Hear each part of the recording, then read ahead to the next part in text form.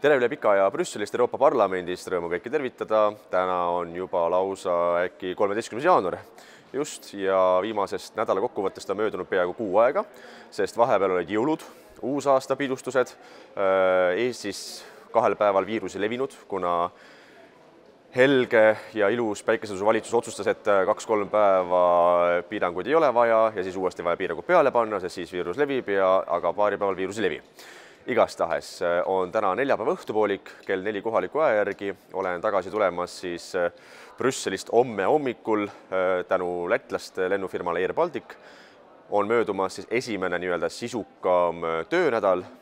ja seetõttu on ka põhjus siis teha selline video, nagu ma olen teinud kaks ja pool aastat peale valituks saamist Euroopa Parlamenti. Ja nagu ma alguses ka lubasin, et olen äkki siis ainukene esimene inimene, kes äh, üritab anda maksimaalset tagasisidet siit Euroopa Parlamendist, et ei oleks põhjust arvata, et näed, sai nüüd valituks ja kaduski ära ja rohkem ei tea, mis ta seal teeb ja tuleb siis viie aasta pärast tagasi ja tahab saada uut mandaati. mina üritan siis tõestada vastupidist, et on võimalik ka teisiti. ühesõnaga, mis on siin toimunud? esiteks on toimunud see, et äh, kaks päeva tagasi suri Euroopa Parlamendi president äh, David Maria Sassoli kes oli küll sotsialistlikust parteist, kellele väga parempoolsed ei meeldinud, äh, kes valiti Euroopa Parlamendi presidendiks kaks tuhat üheksateist äh, suvel, kui kogunes praegune koosseis ja ta valiti presidendiks siis nii-öelda poliitgruppide kokkuleppe tulemusel, et ta pidigi olema kaks ja pool aastat äh, president ja nüüd siis järgmisel nädalal jaanuarikuus, äh, kui on pool ametiaega läbi meil siin viiest aastast, siis valitakse ümber Euroopa Parlamendi president, asepresidendid, äh, poliitgruppide juhid, ka, ka mind valiti uuesti tagasi, millest ma räägin kohe minuti-kahe pärast. seega president Sassoli ei oleks jätkanud Euroopa Parlamendi presidendina, kuid äh, kahjuks ta suri ja ma arvan, et hoolimata siis kõikidest äh, poliitilistest vaadetest või erakondadest äh, on alati kurb, kui keegi sureb. eriti, kui ta on veel kuuekümne viie aastane ja, ja kindlasti oleks saanud veel ju pikemat elu elada ja olen ka näinud meedias spekulatsioone, õigemini kommentaariumites ja ma arvan, et võib-olla ka selle video alla siia tekivad mõned kommentaarid, kus väidetakse tema võimaliku surma põhjuse üle, siis äh, minule teadaolevalt äh, see konkreetne juhtum ei olnud siis seotud äh, vaktsineerimisega, nagu on paljud teised juhtumid olnud seotud vaktsineerimisega. temal oli, oli vähk juba mitmeid kuid arenenud ja ja vähk, mis tekib väga rohkest suitsetamisest, et seal oli hoopis teine põhjus, lihtsalt et ei tekiks mingisuguseid arutelusid ega spekulatsioone või arvamusi ka kommentaariumites sellesama video all aga seoses ümbervalimistega siis äh, meie poliitgrupi koosolek toimus üleeile, teisipäeval, kus äh, nagu ka toimub Euroopa Parlamendi presidendi ja asepresidentide puhul, siis pidi uuesti valitama ka meie poliitgrupi Identiteet ja demokraatia juhtkond ehk siis president, asepresidendid ja varahoidja. noh, eesti keeles see kõlab natuke naljakalt, et varahoidja, inglise keeles on see treasurer ehk siis isik, kes vastutab äh, finantsküsimuste eest ja kuna kaks tuhat üheksateist poliitiline kokkulepe oli, et see ametikoht kuulub väikestele delegatsioonidele meie poliitgrupis ja omakorda väikeste delegatsioonide vahel oli meil arutelu toona, kes on siis noh, mina Eestist, austerlased, minu Taani kolleeg, soomlased põlissoomlaste erakonnast, flaamid, flaamide erakond siit Belgiast. Ja otsus oli, et see koht siis tuleb mulle millele ma olin väga-väga tänulik. aga samal ajal loomulikult annab natukene lisatööd juurde igal nädalal. aga selle ametikoha järgi siis äh, sa kuulud ka Euroopa Parlamendis siin poliitgrupi juhtkonda ehk siis presidentuuri, mis on äh, kindlasti üheks väikeseks äh, abiks, kui on küsimuse all näiteks kõneaegade jaotamine täiskogu istungiteks, siis alati on olemas see argument, et sa oled üks osa sellest poliitgrupi juhtkonnast ja sul on alati eelisõigus saada rohkem kõneaega endale meeldivates äh, debattides. Äh, siis üleeile äh, oli ka mul üks eksam minu ülikooli õpingute tõttu, lepinguõigus, tulemust veel ei tea kerge see ei olnud, äh, raske ennustada, ma loodan, et sain läbi. Ähm, siis on üks samm jälle lähemal selleni, et kaks tuhat kakskümmend kolm kevadel oleks ilusti lõpetamine ja mitte ükski vasakpoolne sotsialistlik äh, ennast ajakirjanikuks nimetav Tegelinski ei saaks hakata midagi kobisema ega, ega mögisema minu ülikooli õpingute osas, et, et lihtsalt siis on selle asjaga ühel pool. aga igastahes eelnevad päevad õppisin muidugi selleks ja teisipäeval oli siis eksam, kus ma pidingi kohe selle lõppedes jooksma poliitgrupi koosolekule samal ajal oli meil ka erakonna juhatuse koosolek, kust ma kahjuks osa võtta ei saanud, kuna ma ei olnud füüsiliselt Tallinnas Äh, siis seejärel on toimunud meil ettevalmistused järgmise nädala täiskogu istungiteks, äh, mis toimuvad Strasbourgis. Äh, saab olema väga huvitav nädal, sest järgmisel kolmapäeval, kolmapäeva õhtul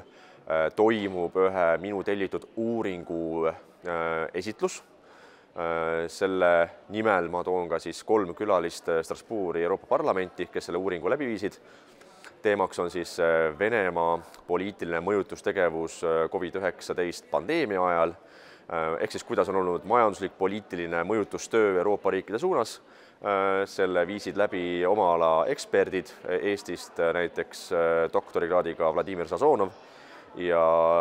Ukrainast doktor Sergei Pahomenko Mariupoli riiklikust ülikoolist ja nad tegid väga põhjaliku teadusliku uurimustöö ja, ja et see niisama kuskil ei jääks lihtsalt kodulehele vedelema või sahtlisse seisma, siis teeme avaliku ürituse, äh, milles on võimalik osaleda kõikidel Euroopa Parlamendi liikmetel, assistentidel, äh, seal on olemas kenasti organiseeritud tõlge äh, nii saksa keelde, prantsuse keelde, itaalia keelde, inglise keelde, vene keelde kui ka eesti keelde seetõttu ma eeldan, et see saab olema üks väga põnev üritus, kuhu tuleb väga palju huvitavaid inimesi, nii meile sõbralikke kui ka meile mitte nii sõbralikke. Äh, aga seda üritust on võimalik jälgida ka läbi veebi. Äh, halb uudis on see, et läbi veebi ei ole tõlget, ehk siis selles keeles, milles esinejad räägivad või milles küsijad küsivad, see on ka läbi veebi, ehk siis kui küsitakse prantsuse keeles, siis see ongi prantsuse keeles. kuna tehniliselt ei olnud meil kahjuks võimalik seda probleemi lahendada, et oleks olemas tõlge ka läbi veebiülekande aga igastahes see üritus tuleb järgmisel kolmapäeval, üheksateist jaanuar Eesti aja järgi kell kaheksateist null null äh, ja kestab kuni kaks tundi. nii et ma olen ka sellega tegelenud siin viimastel päevadel. Äh, lisaks sellele olen jälginud aktiivselt Eesti sisepoliitikat loomulikult, sest äh, noh, kunagi ei tea, kui poliitilisel tormilisel merel lained niimoodi peksavad, kus sa ei tea, et kuhu sa lõpuks välja jõuad või kuhu sa minema pead, seetõttu hoian kätt teravalt pulsil, vaadates, mida teeb Eesti Vabariigi läbi aegade kõige parem, intelligentsem, haritum ja targem peaminister proua Kaja Kallas, äh, ta on tõesti väga tark, äh, millega tegeleb Eesti Vabariigi valitsus, millega tegeleb opositsioon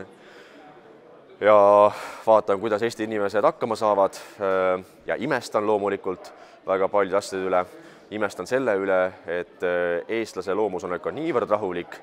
või isegi võib-olla alandlik või natuke orja, orjalik kui, äh, kui kuskil mõnes teises Euroopa riigis äh, tuleksid inimestele üle tuhande euro suurused elektriarved. samal ajal, kui näiteks noh, inimene teenibki keskmist palka, milleks on tuhat kolmsada eurot umbes, või kui pensionär, kes saab pensionit umbes viissada viiskümmend eurot kuus, nagu on mitmed lood olnud ka avalikkuses ja meedias, ja tema elektriarve on nelisada eurot, siis äh, teistes Euroopa riikides oleks juba ammu autod põlemas ja, ja tänavad rahvast täis protestimas. Eestis aga öeldakse, et õpetaks seda, et kuidas kulusid kokku hoida. Taavi Veskimägi, kes teenib üle kahekümne tuhande euro kuus palka, räägib sellest, kuidas ta viib oma sügavkülmkapi sisu oma ema juurde. Noh, väga geniaalne. kuidas tuleb öösel pesu pesta? ehk siis äh, tekib ja nüüd küsimus, et äh, kas kõik on ikkagi ühiskonnas korras või kas kõik on korras inimeste peades. Äh, rääkimata inimestest, ma olen näinud mingeid kommentaare pidevalt, kuidas, kuidas öeldaksegi, et aga elekter ei saagi odav olla, et te olete ju nautinud odavat elektrit. Proua Kaja Kallas on väitnud, et äh, see ongi börsiturul olemise risk, et suvel saite odavat elektrit, nüüd te peategi oma riski taluma ja maksma kõrget elektri hinda. ja, ja muidugi see muidugi kirstutordi peal, et meie ei ole süüdi, meie ei müü elektrit, meie ei saa mitte midagi teha. ja siis mul on see, see küsimus, et kui seda videot äh, näevad ka kindlasti paljud reformierakondlased, mul on see küsimus see, aga mis teist siis kurat tolku on milleks on vaja Vabariigi Valitsust või peaministrit, kui ta ei saa mitte midagi teha ja see pole tema süü? kas on sinu mõistusega kõik korras, oled sa kõigil kohal? kas sa tõesti arvasid eelmise aasta jaanuaris, kui koos kapoga ja kogu oma nii-öelda vasakpoolse meediaga tegite ära riigipöörde, et peaministriks olek ongi lihtsalt niisugune nagu ilus troonikene, kus istuda printsessil või mõisapreelil, panna kroonikene pähe ja nautida ilusat elu või? no selles mõttes täpselt selline mulje jääbki, et inimesel puudub igasugune reaalsustaju, arusaamine, mis on valitsuse ja peaministri roll teie roll, olete te süüdi või ei ole süüdi, see ei huvita enam mitte kedagi. Teie roll on minimaliseerida neid kahjusid, mis tulevad läbi ülimalt kõrgete kolossaalsete elektrihindade, mis omakorda löövad eelkõige väikeettevõtjaid, kes hakkavad varsti oma uksi kinni panema, kes hakkavad vallandama töötajaid, kes lähevad pankrotti. see lööb kogu majandust, sest lükkab üles inflatsiooni, mille maksab kinni ka keskmine tavaline tarbija. reaalselt inimesed peavad praegu valima kas osta lastele normaalselt süüa või maksta elektriarve ära siis, kui sa ära ei maksa, tulevad kaela viivised. riigifirma Eesti Energia poolt, kes maksab kümneid miljoneid eurosid dividende iga aasta Eesti Vabariigi riigieelarvesse. ja siis väidab mingisugune Kaja Kallas, kes on täielik uhhuu, et aga me ei saa mitte midagi teha. ehk ja kui on veel inimene, kui ma näen veel mingeid inimesi või kommentaare, kes hakkavad väitma, aga Kaja Kallas ei ole ju süüdi ja see on inimeste enda risk, et nad võtsid börsipaketi, siis mina ütlen nende peale, teate, te olete täielikud lambad täielikud lambad ja, ja selles mõttes ütleme, et kui te, ütleme, kui teil läheb halvasti, on see teie enda süü, tehke, mis tahate. E, aga te ei saa ette heita tavalisele keskmisele inimesele, et ise olid loll, nüüd maksa ennast e, surnuks. lihtsalt see, see on täielikult häbiväärne, aga see selleks. igastahes kakskümmend kaks jaanuar kell üksteist, kui ma õigesti mäletan, Vabaduse väljakul toimub massiivne meeleavaldus kogu selle jama vastu. tule kindlasti kohale, mina lähen kohale ja lõppkokkuvõttes mina ei näe siin mitte ühtegi muud lahendust kui tänase valitsuse väljavahetamine. tulgu, mis tuleb, alati me muidugi arvame, et hullemat tulla ei saa, alati saab muidugi ka hullem tulla. Äh, aga noh, kui varem arvasime, et Taavi Rõivas oli läbi aegade kõige hullem peaminister, siis nüüd võib öelda, et Taavi on sellest äh, häbipostist pääsenud. nüüdseks on selle rolli üle võtnud Kaja Kallas. Äh, ja ilmselgelt see inimene tuleb välja vahetada kiiremas korras ja olgu tulemuseks kas või näiteks uue koalitsiooni loomine, kus on Konservatiivne Rahvaerakond, Isamaa ja Keskerakond. oli see eelmine, mis ta oli, äh, kui Keskerakond oli reeturlik, seda me ei tohi kunagi ära unustada, et nad on oma partnereid petnud, aga see praegune asi tuleb välja vahetada kiiremas korras. seniks aga ma loodan, et kõigil on piisavalt vastupidavust, äh, oodata järgmisi valimisi äh, kui keegi veel järgmistel valimistel valib Reformierakonda, siis ma ütlen, no tal, ta on absoluutselt segane ja mul sellise inimesega ei ole mitte midagi enam rääkida. Äh, ja kui keegi tuleb väitma, aga EKRE-t ma ei vali sellepärast, et mulle mingi väljaütlemine ei meeldi, siis ma ütleksin selle peale, ühtegi perfektset erakonda ei ole olemas. kui tahad perfektset erakonda, tee enda erakond, igal erakonnal on alati mingisuguseid miinuskohti, mis kõigile ei saagi meeldida, aga tuleb valida halbadest valikutest kõige vähem halvem ja tänasel päeval poliitmaastikul on ilmselgelt kõige vähem halvem Eesti Konservatiivne Rahvaerakond. meeldigu need mõned väljaütlemised või, või mingid seisukohad, kas meeldivad, ei meeldi, aga üldplaanis no ei ole paremat erakonda